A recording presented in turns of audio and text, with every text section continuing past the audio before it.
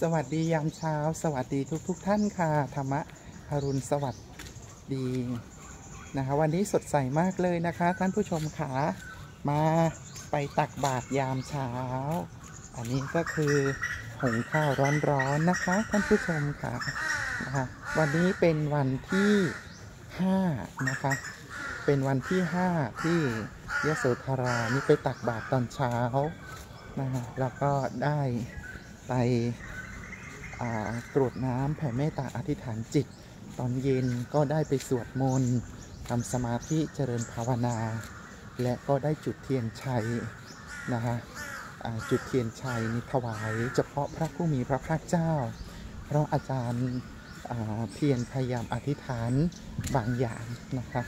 ขอให้เกิดความสำเร็จทันตาเห็นนะคะ ดังนั้นอาจารย์มีความเชื่อในพลังแห่งบุญ แล้วก็พลังแห่งความเปลี่ยนแปลงทุกขังอนิจจังอนัตตา นั่นหมายความว่าอาจารย์เชื่อว่าทุกสรรพสิ่งนะมีการเปลี่ยนแปลงนะคะคนจนกลายเป็นคนรวยได้ คนรวยก็ล้มละลาย หมดเนื้อหมดตัวได้นะคะ คนโง่กลายเป็นคนฉลาดได้ คนฉลาดก็กลายเป็นคนโง่ได้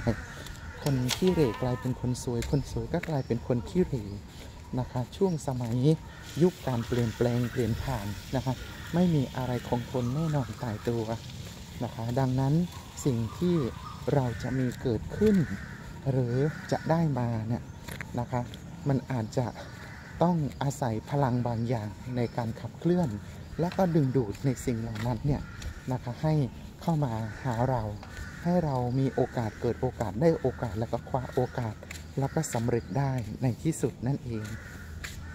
ดังนั้นนะคะ เราจะต้องขอบคุณตนเองนะคะ แล้วก็ขอบคุณในทุกๆวันที่เรายังมีลมหายใจ แล้วก็ขอบคุณสวรรค์